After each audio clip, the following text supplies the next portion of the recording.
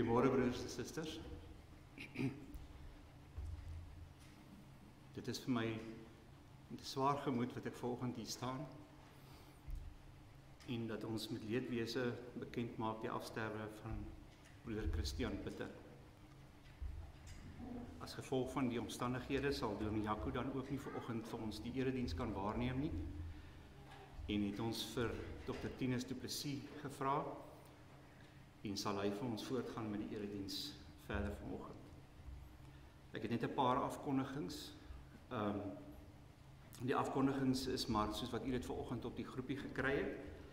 Ek wil net uh, uitlig dat ehm um, ons 'n attestaat ontvang het van die Gereformeerde Kerk ehm um, Oosmoed vir uh, broeder Ernst en suster Tilla Lawaskagni en ons wil hulle graag asseblief in ons gemeente verwelkom dat hulle ook glo ons saam met ons hier in die in Potgietersrus sal groei in die geloof um, en in die gemeente sal werksaam wees en meer lewend sal wees. Dan is daar ook 'n um, reëling rondom die verlof van Dominee Jaco. Dominee Jaco sou in elk geval van volgende week af vir 3 Sondae met verlof gewees het. Die kerkraad het dit op hierdie stadium goedgekeur dat hy die komende week ook met verlof sal wees en versoek ons dan die gemeente om as u enigsins 'n uh, probleem het of 'n uh, behoefte het om 'n predikant te sien dat u myself of u wyks ouderling sal skakel sodat ons vir u kan kan reëlings tref en dat u kan versorg wees. Ons uh, ons maak ook dan bekend dat die die gemeentebraai wat volgende week sou plaasvind dan maar net uitgestel word om eh, on, on, onbeperk totdat ons weer vastigheid in ons reëlings het en weet ehm um, wat ons sal wanneer ons dit sal kan doen. Verder is daar 'n paar mense wat verjaar hierdie week en wil ons hulle graag gelukwens met hulle verjaarsdag en bid ons hulle die seën van die Here met die nuwe lewensjaar toe. Ehm um, maandag is Suster Elsie van Staden. Ehm um, Dinsdag is broeder Skalk van der Merwe. Woensdag is Suster Nelly Viljoen. Vrydag is Suster Corrie Lourens. En dan Saterdag is broeder Andri Skreer. En Dinsdag en Woensdag word broeders broeder Skalk en Suster Nelly sal dan 82 wees. En um, ons wil hulle besonder besonder dan ook baie gelukwens met hulle verjaarsdag. Mag dit vir hulle 'n geseënde dag wees, maar ook 'n geseënde jaar op so ouderdom. En ek vra dat ons net so sal sit en dan vir hulle die seënbede sal sing asseblief.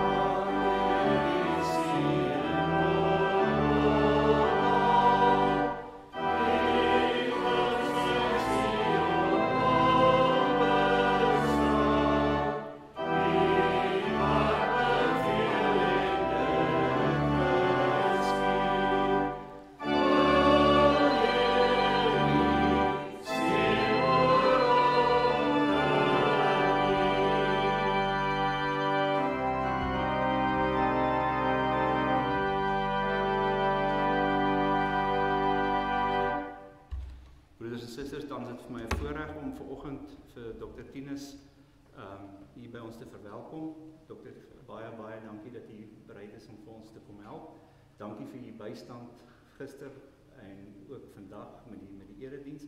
Baie sterkte vir die um, prediking vanoggend en ook vir u bediening vorentoe. Baie dankie.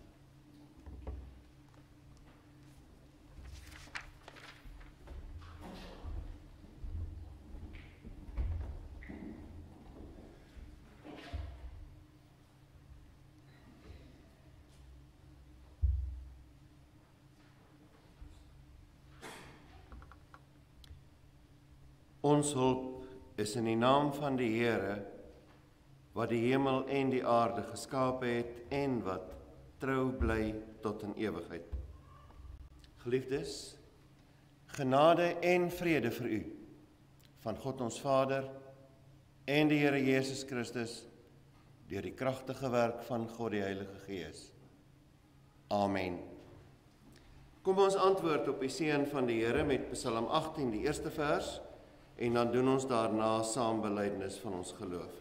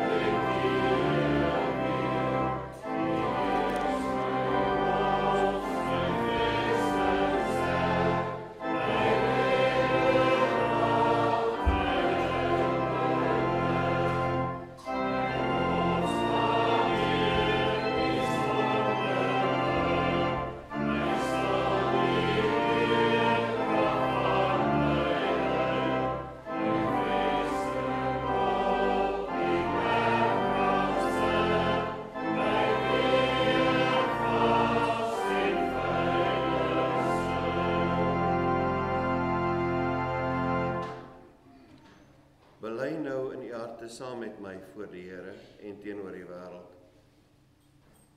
Ek glo in God die Vader, die almagtige, die skepper van hemel en aarde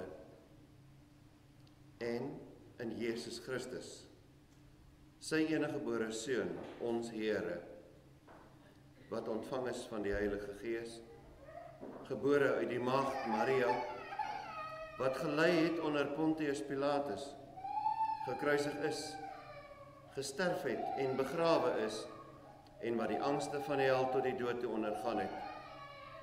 Wat op die derde dag opgestaan het uit die dood, opgevaar het na die hemel en sit aan die regterhand van God, die almagtige Vader, waarvandaan hy sal kom om die lewendes en die dooies te oordeel.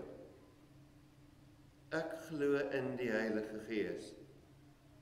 Ek glo aan 'n heilige, algemene Christelike kerk, die gemeenskap van die heiliges, die vergifnis van sondes, die opstanding van die liggaam en 'n ewige lewe. Amen.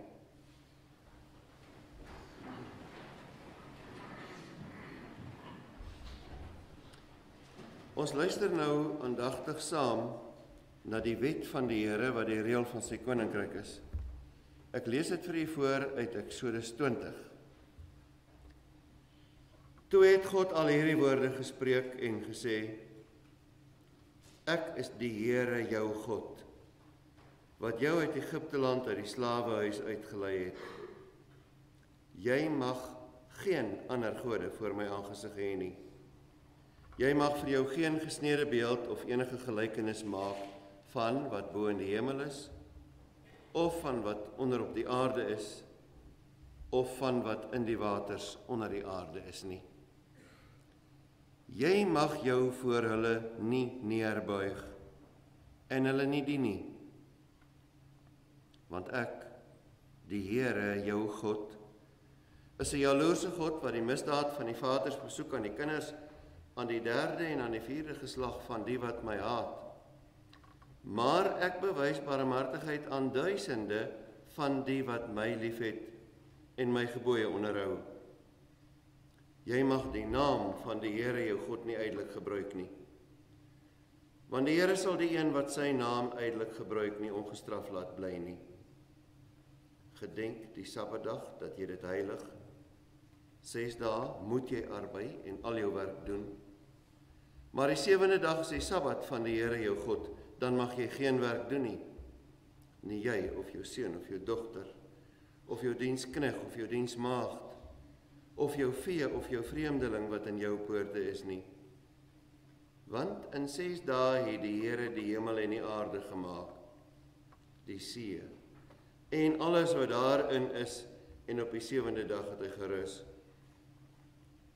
Daarom het die Here die Sabbatdag geseën en dit geheilig. Eer jou vader en jou moeder dat jou dae verleng mag word in die land wat die Here jou God aan jou gee. Jy mag nie doodslaan nie. Jy mag nie egbreek nie. Jy mag nie steel nie. Jy mag geen valse getuienis teen jou naaste spreek nie.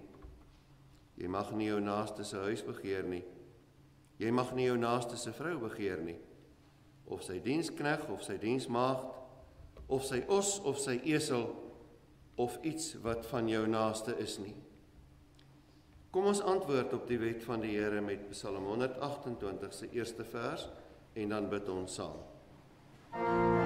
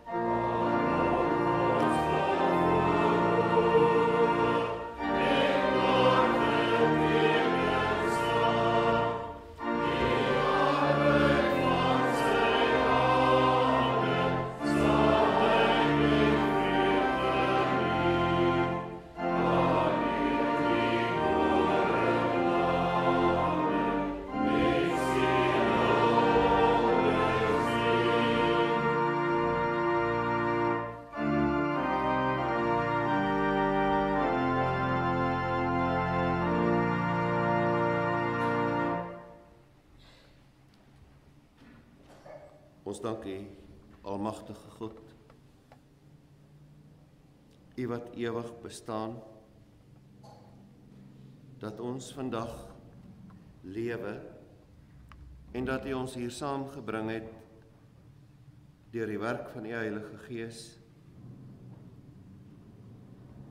sodat ons U kan aanbid en aan U al die dank en die lof kan toesing met ons sang en met ons gebede. Maar Here ook dat ons by U die ewige troos van U verlossing vir elkeen van ons mag hoor. En dat U ons seën. En dat ons weet ons elke dag van ons lewe in U genade mag sluit. Here ons bid saam met kerke en 'n predikantspaar wat in rou is. Here ons verstaan nie alles wat in u raad oor ons beskik word nie. Ons bely dit. Maar wat ons wel weet is dat u ons op die dag gebore laat word wanneer u ons in hierdie wêreld beskik om te lewe tot u eer. En dat op die tyd en die manier wat u in u raad beskryf het, u ons kom haal. Ons bely Here teenoor u dat ons seer op hierdie aarde baie is en diep is wanneer ons 'n kind verloor. En Here dat ons rou wanneer U iemand kom haal op 'n manier wat nie eie is aan die normale nie. Here sal U troos gee. U kan met U Heilige Gees in elke mens se hart indring waar nie een van ons kan kom nie. Daarom smeek ons U wees elkeen almal wat betrokke is in U liefde met U Heilige Gees genadig. Gee tevredenheid en gee berusting En die Here gee dat ons sal aanhou lief hê. Nou en tot in ewigheid met die liefde wat U vir ons het. Ons bid Here dat U hierdie kerke seën, elke lidmaat. Dat U elkeen van hulle daagliks versorg met die teerheid van die liefde wat U alleen beskik. Bo alles dat ons geloof kan groei elkeen van ons. Sodat hoe langer ons lewe ons meer en meer u beeld vertoon. En Here hoe langer ons lewe ons onsself meer en meer uitstrek om toe te tree tot u ewige koninkryk wat u vir ons voorberei het. Lei ons uit die woord. Ons verstaan nie alles wat in u woord ook staan nie Maar ons vra dat U o God die Heilige Gees hierdie woord van U vir ons sal oopdek tot ons vertroosting. Maar ook tot vermaaning wat dit moet en tot bemoediging waar ons stry. Here sal U ons nou ryk maak met die warmte van U nabyheid hier by ons. Ons smeek dit omdat die verdienste van ons Here Jesus Christus ons die toegang gee om vrylik by U te smeek en te vra. Amen. Psalm 146 se 8ste vers en dan lees ons saam Galasiërs hoofstuk 5 gedeeltes.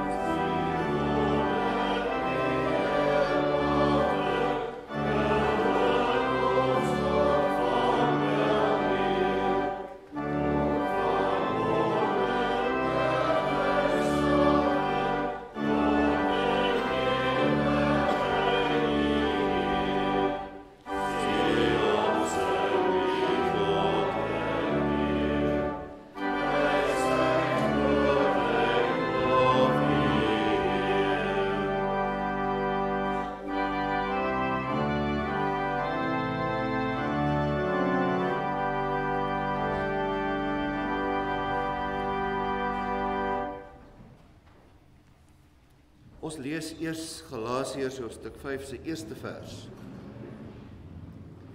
Staan dan vas in die vryheid waarmee Christus ons vrygemaak het en laat julle nie weer onder die juk van diensbaarheid bring nie. Daarna dan beskryf die Heilige Gees deur apostel Paulus se pen aan die Galasiërs dis 'n klomp kerke in die provinsie Galasië hoe hulle tot die geloof gekom het en goed geloop het in die geloof en wat se sondes hulle dan als aanvang. En dan van vers 16 af. Maar ek sê wandel deur die gees. Dan sal julle nooit die begeerlikheid van die vlees volbring nie. Want die vlees begeer teen die gees en die gees teen die vlees. En hulle staan teenoor mekaar sodat julle nie kan doen wat julle wil nie. Maar as julle deur die Gees gelei word, dan is julle nie onder die wet nie. En die werke van die vlees is openbaar, naamlik oorspel, hoerery, onreinheid, ongebondenheid, afgodery, towery, vyandskap, twis, jaloesheid, toornigheid, naaiwer, tweedrag, partyskap, afguns, moord, dronkenskap, brassery en dergelike dinge waarvan ek julle vooraf sê soos ek al vroeër gesê het dat die wat sulke dinge doen die koninkryk van God nie sal beerf nie. Maar die vrug van die gees is liefde blydskap vrede lankmoedigheid vriendelikheid goedheid getrouheid sagmoedigheid selfbeheersing. Teen sulke dinge is die wet nie. Maar die wat aan Christus behoort, het die vlees met sy hartstogte en begeerlikhede gekruisig. As ons deur die Gees lewe, laat ons ook deur die Gees wandel.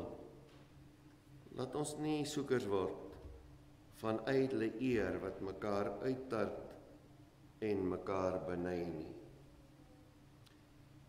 Vers 16 vat omtrent alles saam. Wandel deur die Gees dan sal jy nooit die begeerlikheid van die vlees volbring nie.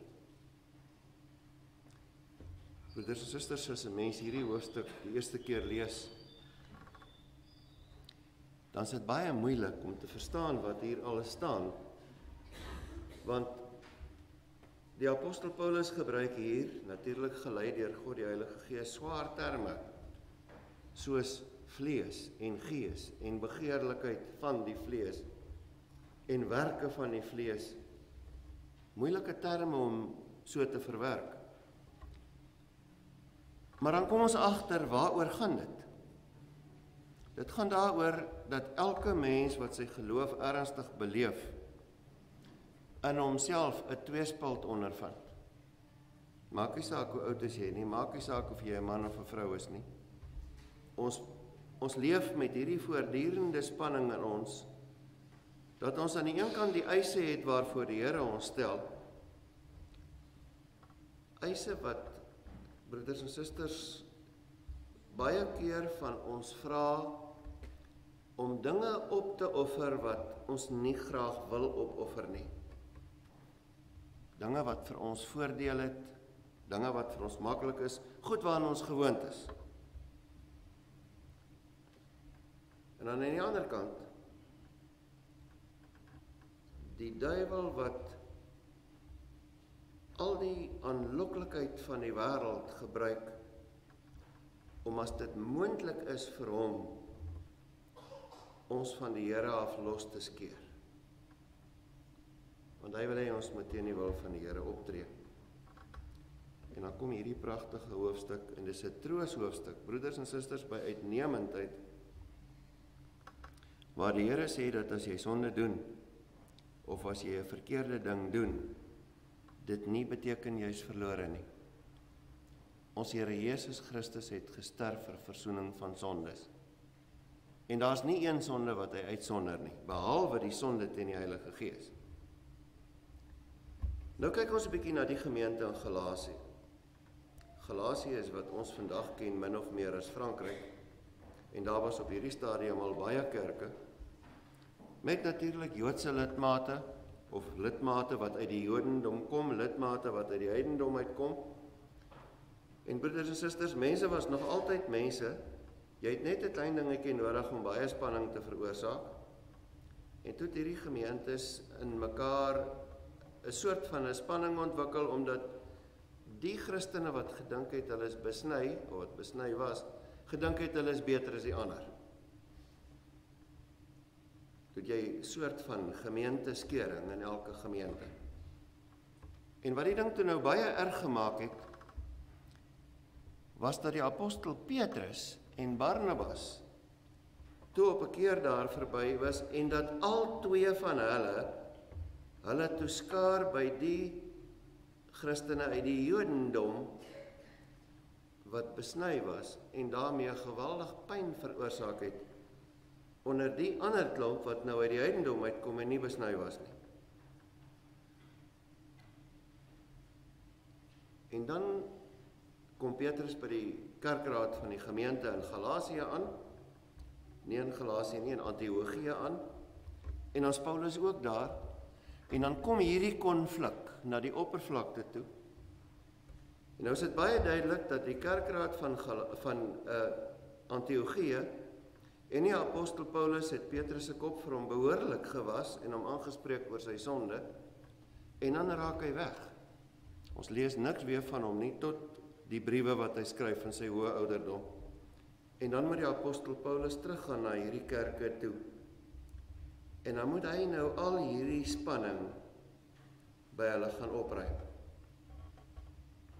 En dan skryf hy eers hierdie brief vir hulle waarin hy dan sê ons wat glo in hierdie brief is universeel dit raak my dit raak elkeen van julle dat ons wat glo nie moet aanhou om aan uiterlike goed vas te hou en ons buite die genade van God te plaas nie. En ek hoop dit het u opgeval elke keer wanneer u hierdie stuk lees hoe sterk die Here dit stel. Die oomblik as jou geloof sy binneverhouding met God verloor, dan plaas jy jou buite God se genade. Kyk nou hoe moeilik raak dit en hoe maklik raak dit.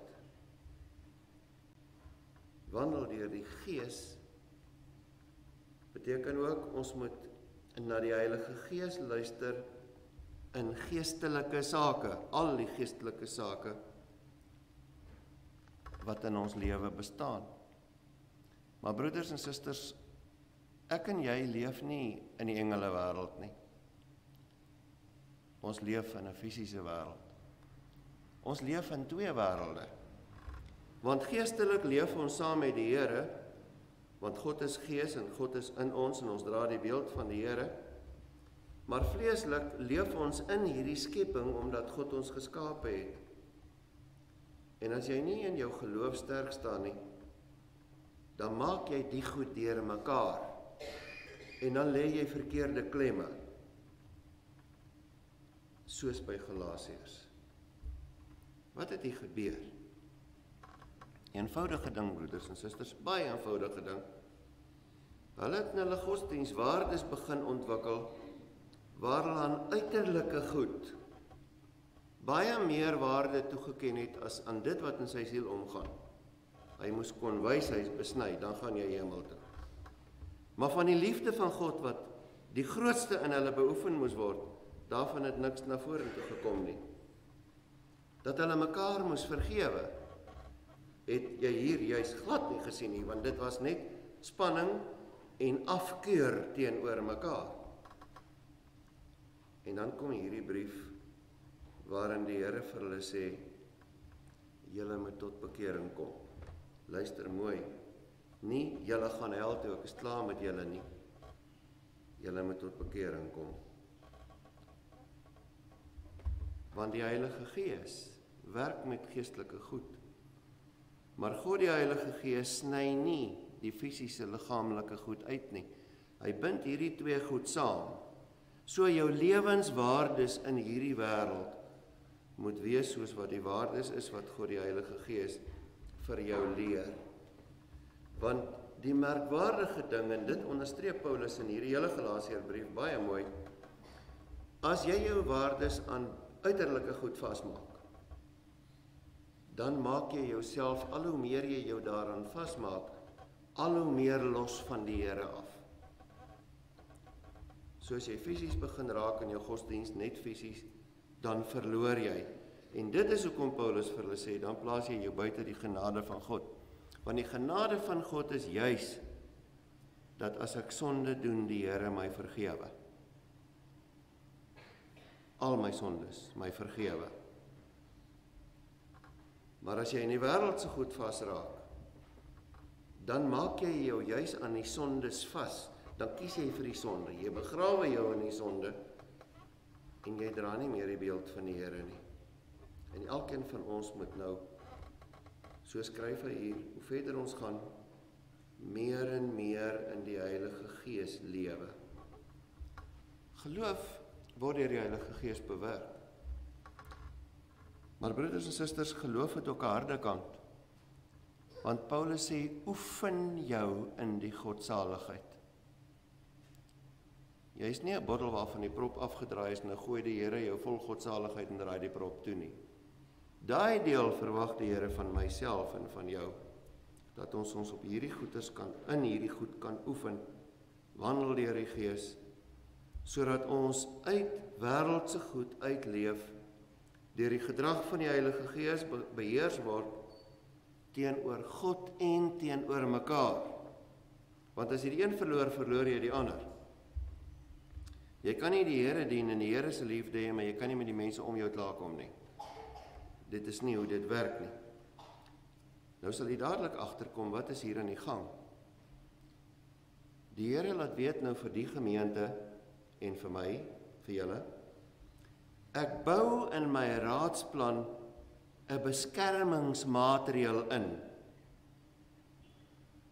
My beskermingsmateriaal is dat ek my gees op julle uitstort en die Heilige Gees is uitgestort van Handelinge 2 af op ons almal en by ons doop is dit aan ons toegeken sodat my gees jou in die rigting kan instuur waarop ek jou geplaas het toe ek vir jou aan die kruis gesterf het.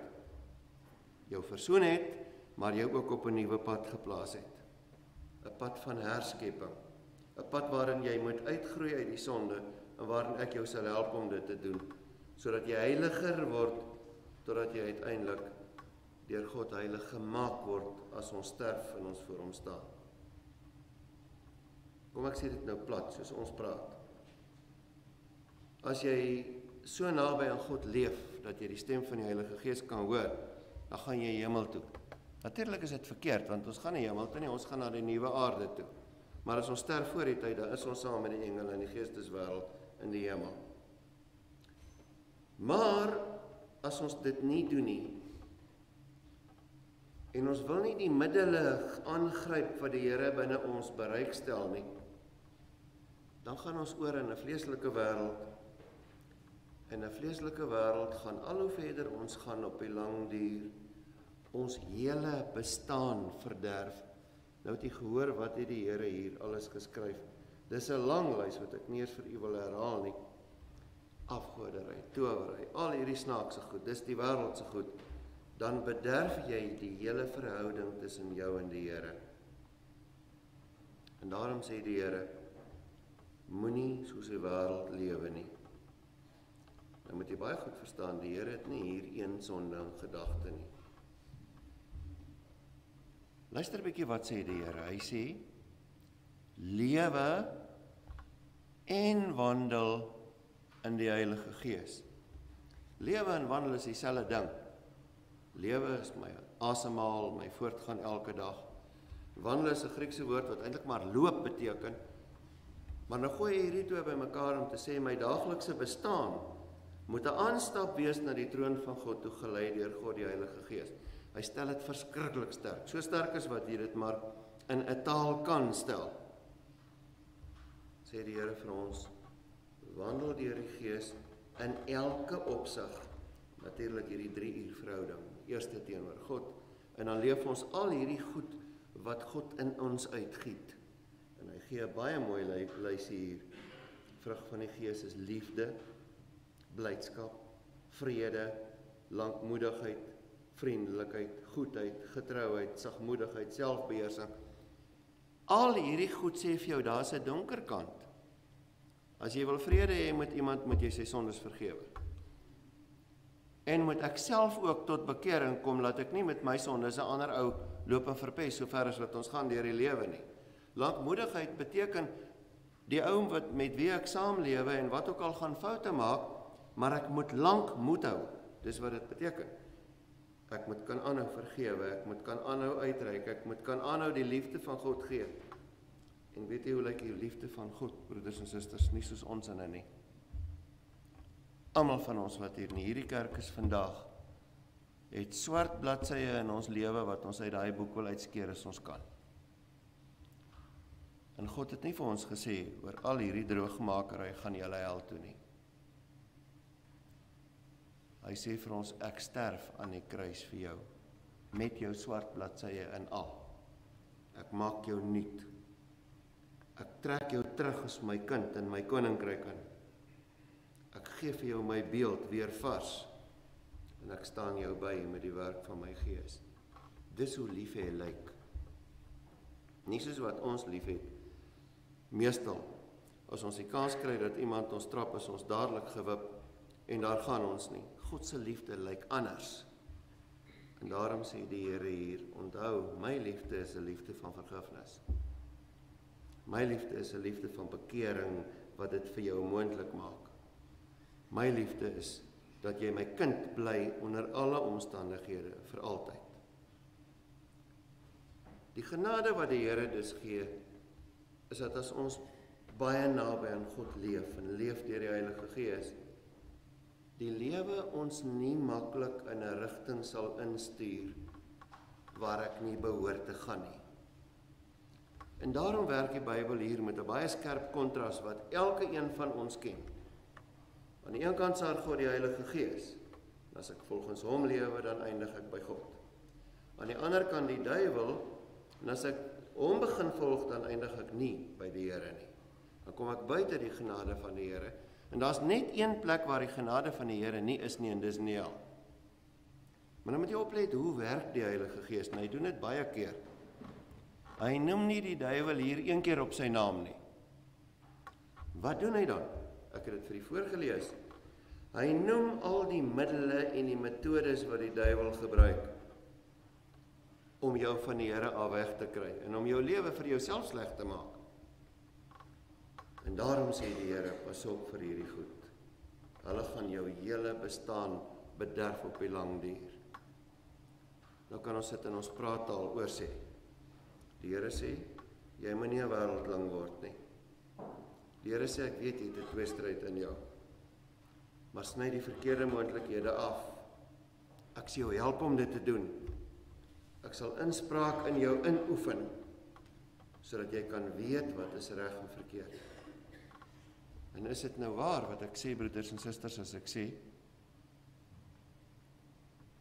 daar is bitter min kere in my lewe wat ek van weet wat ek sondig gedoen het en ek nie geweet het dat ek sondig nie want die Heilige Gees het vir my gesê jou lewe ook waar. En daarom hierdie geweldige aanspraak van God. Luister vir my. Anderster gaan jy my genade veragter. Die Here aanvaar dus ons in ons sondes. En hy maak dit vir ons reg. Die Here aanvaar my al het ek wat aangevang. Solank ek hom bely as my redder en my verlosser, sterf hy vir my sondes, versoen hy my. Bly die Heilige Gees vir my sê, vergewe, hê lief, reik uit, wees vriendelik, al hierdie lang lys van goed wat die Here hier doen, maar bly net weg van die ander af. Jy sien hierdie hoofstuk is 'n hoofstuk van onbeskryflike genade want die Here sê ek wat God is gaan staan reg tussen jou en die duiwel. Hy kan nie by jou uitkom nie. Luister net vir my. Ek keer hom van jou al weg. God sê as jy vir my luister, dan maak ek dat die sonde jou nooit van my kan vervreem nie. Daarom is die Heilige Gees uitgestort op ons. By ons doop aan ons toegeken, ek doop jou in die naam van die Vader, die Seun en die Heilige Gees. So nie een van ons kan sê die Heilige Gees is nie aan ons toegeken nie. En daarom die Here se liefdevolle vermaaning wandel daarin. Sy liefdevolle vertroosting, ek sal sorg lê daarin bly. En so loop ons die pad vorentoe in die genade van die Here. Kyk weer wat staan hier, vers 18. Dat jy deur die Gees gelei word. Mens moet maar partykeer die gemeente 'n bietjie Grieks ook leer. As jy hierdie gelei word deur die passiewe beskrywings in die Bybel kry, dan beteken dit altyd hier doen die Here die werk. Hy laat my lewe sodat ek gelei word deur God die Heilige Gees. Daarmee sê die Here jy hoef nie bang te wees die Heilige Gees gaan jou verlaat nie. Hy's by jou. Elke oomblik is God met sy Gees by ons.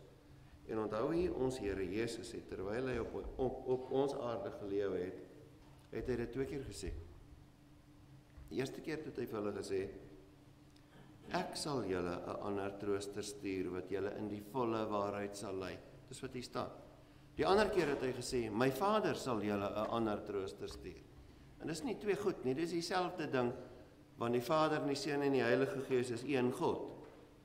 God die Vader is altyd by ons, oor ons, om ons. God die Seun is toe God sy verlossingsplan oor ons waarmaak. God die Heilige Gees is hy wat nou nog steeds by ons is en as derde persoon in my werk dat ek die Here kan aanhou ken en kan aanhou dien. daarmee sê die Here in plat Afrikaans ek sal vir jou die pad wys wat jy moet loop. En dan gee die Here vir my die reëls. Hy gee 'n volledige padkaart.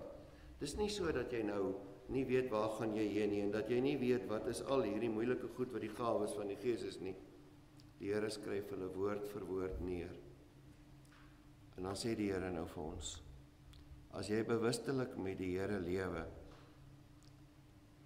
dan moet jy weet wanneer die Here jou vermaan en vir jou sê skop teen jou sonde. En dan moet jy nie twyfel nie.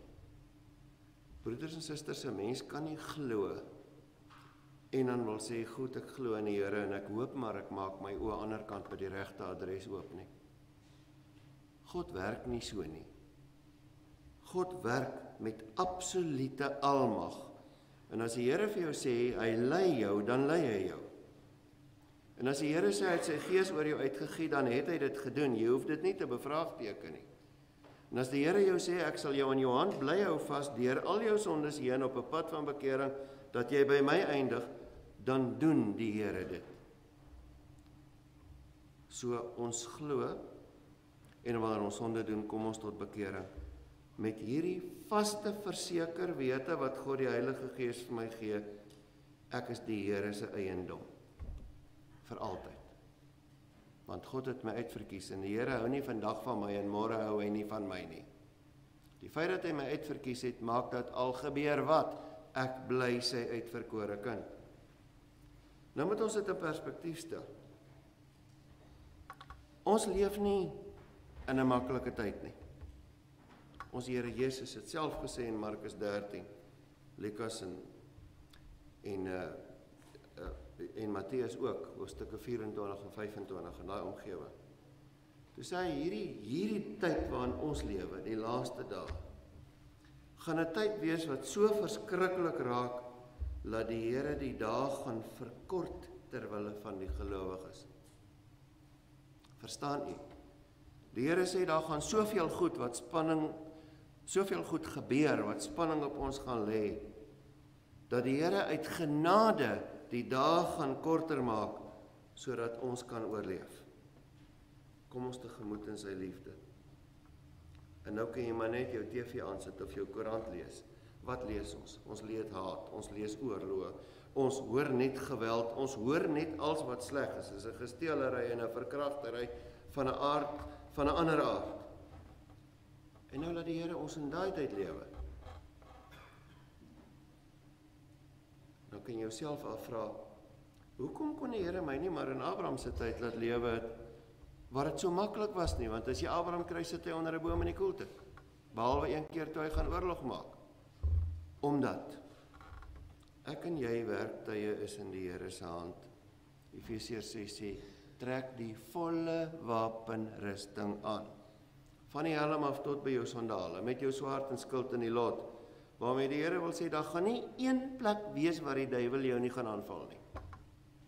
Jy moet op elke plek geslyp raak. En dan sê die Here en ek gaan jou op elke plek help. Ek gaan jou lei met my gees. En dan vra ek maar Here, hoekom? Maak ons die boek Openbaring oop en dan staan daar ons gaan op die trone sit en saam met God oordeel. Hoe? Omdat die Here in hierdie tyd waarin ons lewe, daardie dag vir die engele wat geval het en vir die duiwel en almal wat hom gevolg het sê, julle het die voorbeeld gehad van my gelowiges. Julle het geen verskoning nie. Julle het my openbaring gehad, julle die leiding van alles gehad en julle die leiding gehad, die voorbeeld van my gelowiges. Dit is waar ons in die oordeel van God inpas. Die Here gebruik ons om sy koninkryk te laat kom. En daarom sê die Here, moet nou nie soos die wêreld word nie. En dan moet ons 'n bietjie kyk. Hoe lyk die wêreld nou? Want anders dan klink dit so na so 'n preek wat net oor die vaagheid van onverstaanbarehede gaan. Die Here praat oor goed soos verwaandheid. Verwaandheid is die eerste sonde wat ons in die Bybel raakloop. Die duiwel het verwaand geword en hy teen God in opstand gekom. Met sy verwaandheid het hy die hele mensdom probeer saamsleep in die hel in. Verwantheid is wanneer jy God word in jouself. Jy is die een wat alleen weet. Jy's die beste. Hy noem geldsig. Judas het sy hele saligheid verkoop vir 30 sikkel silwer. Die Here sê daai goed. Dit wil ek nie by jou kry nie. Ongebondenheid. Hoeveel keer hoor ons in ons tyd iemand sê ek laat my nie voorskryf nie. Ons wil nie reëls hê nie, veral nie God se reëls nie. Maar as ek as ek wandel deur die Heilige Gees, dan sê die Here, ek soek jou nie daar nie.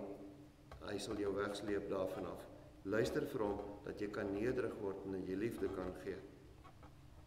En nou as jy 'n aardige ding in die Bybel impliseer dit hier dat hierdie soort van sondes was al die eeue gekoppel aan die heidendom. Maar my Here wil sê man, maak op jou oë, kyk in die geskiedenis. Kan jy nie sien die goed was altyd daar nie. Dink byvoorbeeld aan Biliam wat 'n towenaar was en hy het vergeld die die volk van die Here gaan probeer vervloek wat hy nou nie kon regkry nie. Maar toe gaan hy na Balak toe terug. Toe sê hy vir hom: "Luister, ek kan niks aan hulle doen nie. Maar as jy my betaal, dan gee ek jou raad. Laat jou seuns en jou dogters hulle net saamvat na hierdie offerfeeste van julle toe waar hulle horeer, dan sal die Here self met hulle werk." Daai soort van ding. Die Here sê dit moet net nie by ons wees nie. Hy praat van vyandskap, hy praat van luiheid, hy praat van skinder. Broeders en susters, as jy deur die Heilige Gees lewe, dan kyk jy nie wat kan jy oorvertel van iemand anders nie. Jy kyk waar kan jy sy eer beskerm. En ons sê dit nogal in die Heidelberg Katekismes ook. En hierdie is nie 'n katekismes preek nie.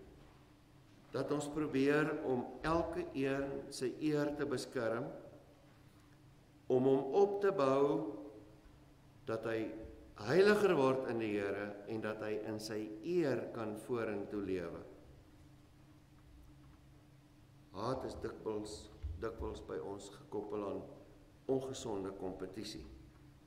Baie van ons wil kyk wie kan die duurste lewe, wie kan die beste geselskap hê en al hierdie soort van goed, die hoogste status. Wanneer die Here Gees en sê die Here, die goed tel nie baie punte nie. En as jy nou werklik wil gaan kyk hoe min punte tel aardse besittings by God. Toe ons Here op die aarde gelewe het, het hy 'n boorrok en 'n onderrok en 'n paar sandale gehad, dis al. Hy het nie nog iets besit nie. Hy sê hy het nie eens 'n plek om sy kop neer te lê nie. Hy sê jakkals kan nog in 'n gat gaan kruip, maar hy het nie eens 'n oordak gehad nie. Wandel deur die Gees, Here, my hele lewe, my hele diens gaan vir U en vir U alleen. Ek praat van naaiwer. As jy deur die Gees lewe, dan is jy nie so dat jy nie die son van God oor ander mense se koppe ook wil laat skyn nie. Dan wil jy jy sê dit moet daar skyn. Jy wil almal intrek in die genade van God in. Ek wil nie die beste en die vernaamste wees nie. Ons moet saam een liggaam vorm van die Here. Dis mos wat 'n gemeente is. Ons is die liggaam van die Here. Ons is die bruid van die Here. Ons is die mooiste van die Here.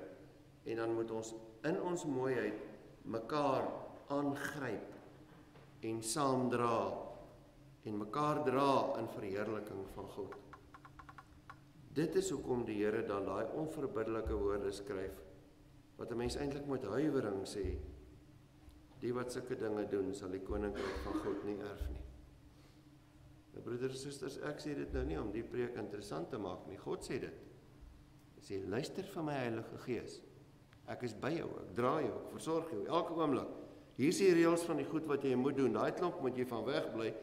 As jy nie wil nie, dan gaan jy nie die koninkryk van God erf nie. Dis die Here se uitdruklike uitspraak. Kom ek sê dit baie eenvoudig. Hier staan geskryf God sê ek gee vir jou in my godheid, my drie enige godheid. As Vader, ek verlos jou sondes in my tweede persoon. Ek is elke sekonde by jou om jou by te staan en jou leiding te gee in my volle godheid. En as jy dit nie wil hê nie, dan gaan jy nie in my koninkryk welkom wees nie. Jy sien, dit is 'n 'n genadepreek, geweldig met so angel by. God sê ek gee vir jou alles, maar jy gooi nie my liefde in my gesig terug nie. En daarom sê die Here hier, ek soek julle dra die stempel van liefde, die liefde van die Here, 'n liefde wat onvervangbaar is. Hulle met blydskap lewe. Hy noem dit spesiaal. Broeders en susters, hoeveel van ons wil ons amper oefen om altyd kwaad te wees. Die Here sê dit moet net nie so wees nie. Ons moet leef soos wat dit die Here vir die Here belangrik is en ons gee dit onder geen omstandighede prys nie. Dan sê die Here, dan kan ek God se liefde uitoefen om deur die Heilige Gees in vrede te lewe. As jy vrede het, dan beteken dit jy beklei nie.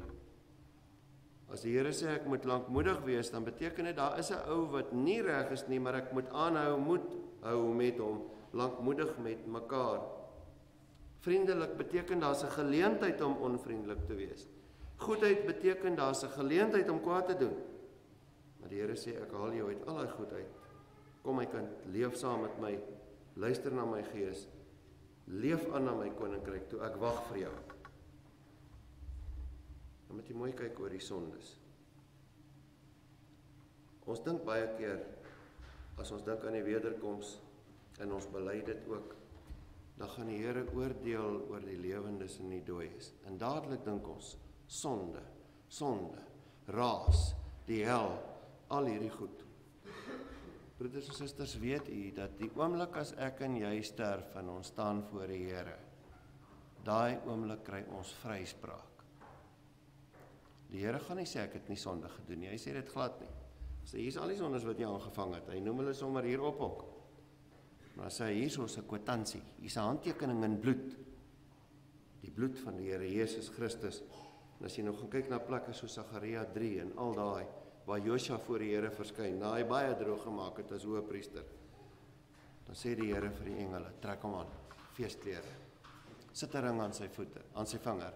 Trek vir hom skoene aan. Sit vir hom 'n tulband op sy kop. Laat hom deelneem aan hierdie heerlikheid van my. En dis wat ons aan moet vashou. Ons moet nie lewe om te dink sonde gaan my hel toe vat nie.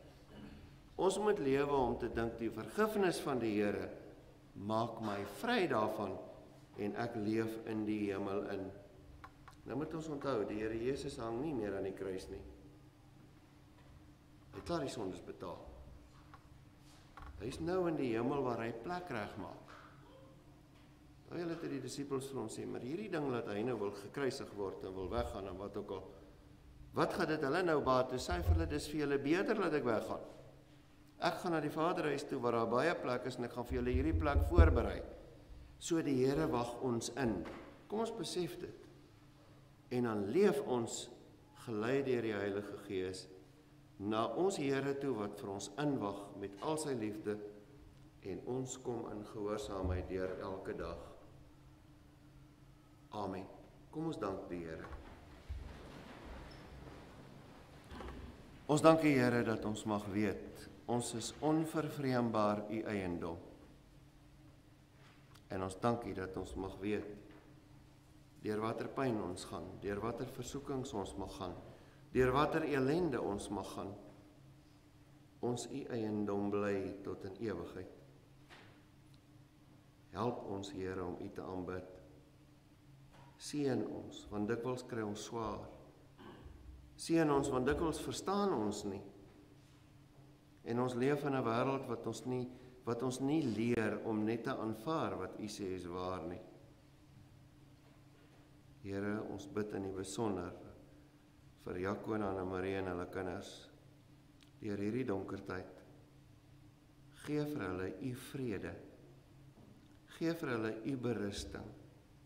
En gee dit ook vir hierdie gemeentes, elkeen wat betrokke is. Ons bid in die naam van ons Here Jesus. Amen. Ons slotpsalm is Psalm 25. Ons gaan 3 verse sing, vers 2, vers 4 en vers 5.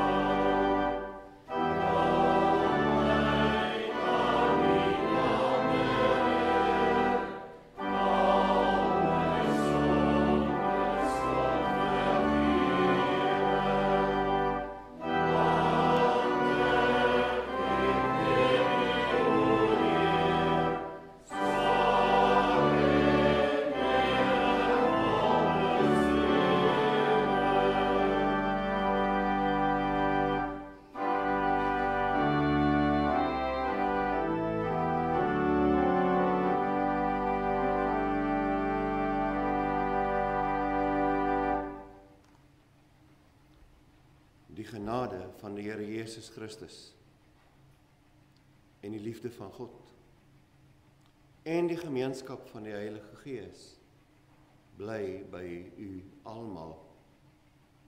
Amen.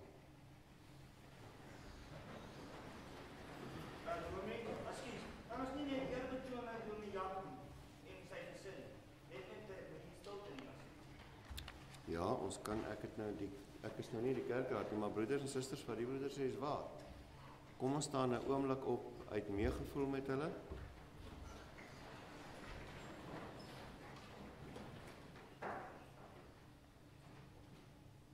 Baie dankie. En dat ons ook in die besonder ons voorbereiding aan hulle dink in hierdie tyd asseblief.